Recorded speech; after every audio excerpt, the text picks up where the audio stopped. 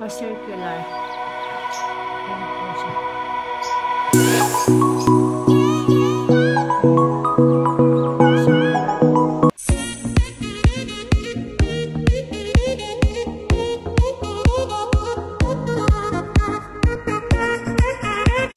So, yun yung mga friendship. Ah, may papakita po ako sa inyo na isang simpleng ano lang po, ah, beauty routine. Ang gusto ko po ipakita sa inyo, paano po mag-close ang pores na simpleng paraan lang po na makikita lang po natin sa ating bahay.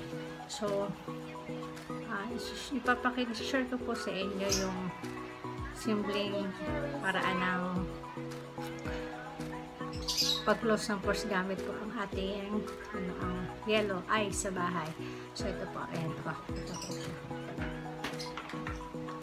So, yun po. ah, first step po natin gagawin is mag-wash tayo ng face natin. And hilamos po lang. So, naghilamos na po ako na aking Myra facial wash. And then, talagyan, magpapahid na po ako ng ice. So, first po muna isa tali ko po na muna aking hair kasi pangit na po ng hair ko. Wait lang. Tali po muna tayo. Yan. Tali po muna ako.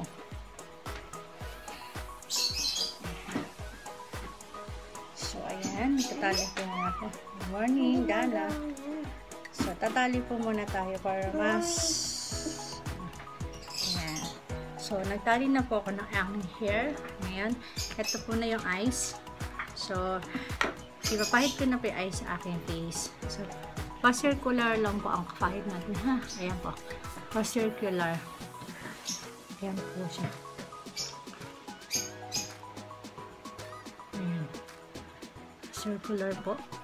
Pa-circular po siya para po ang ating blood is mag-circulate. So, alam niyo po mga friendship, ang dami-dami pang benefits ang eyes pag pinahid po natin sa ating face. Ah, benefits po kasi ng eyes, uh, nakakapag-tighten po siya ng pores. Pag regular po natin siyang ginagamit, is nakaka-tighten po siya ng pores.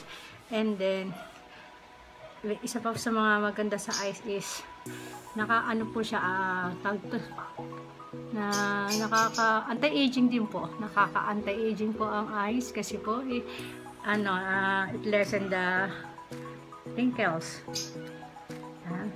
Po. So, nag-ano po ako, nag, nag-ano po ako ng ice.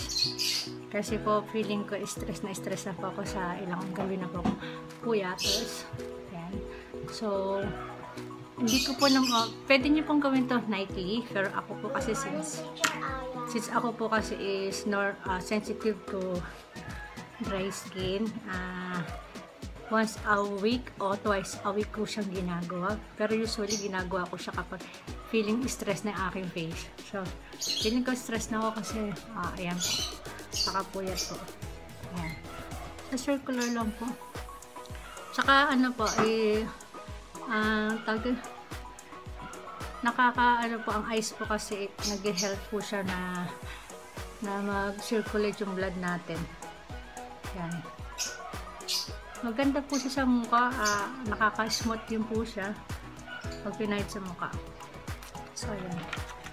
ayan. Tapos, sa, ilong din po kasi ang ilong po ang ating pinaka-open na open ang pores. Yan.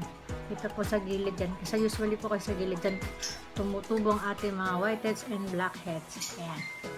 Close po natin. So, ang ginamit ko po is 3 3 ice cubes. Yan. Gagamit, gagawin nyo lang po ito ng 2-3 minutes. Huwag po kayo sobra sa 3 minutes kasi magdadry naman po ng sobra yung inyong face. So, 2-3 minutes lang po and 3 cubes lang po ang ginamit ko.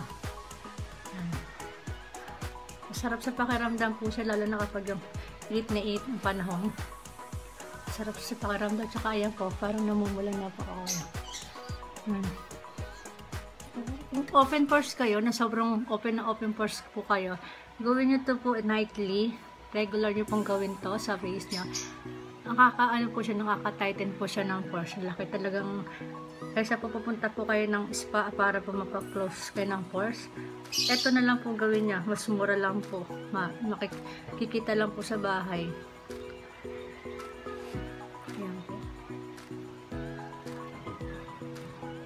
So, ayan na po, nakatatlong Katatlong ice cube na po ako. So, ang sarap po sa pakiramdam. Ang lamig-lamig po. Ayan po, medyo namumula na po ang aking face. Ayan.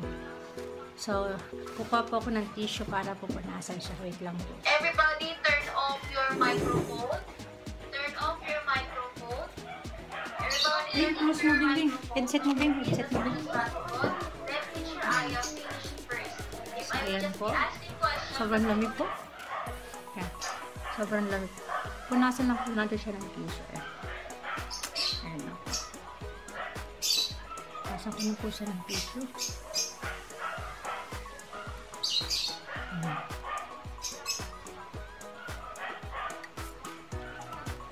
So, ayan po, okay na po. Ah, ang lambot-lambot ng mukha ko po. Eh, effects po niya parang nabanat po siya. Ayan, parang, ah, parang po nag-tighten po siya. And parang tumigas. At parang nabanat po siya. Ayan, napag, na, parang na ganun po yung face ko. Parang, ayan po.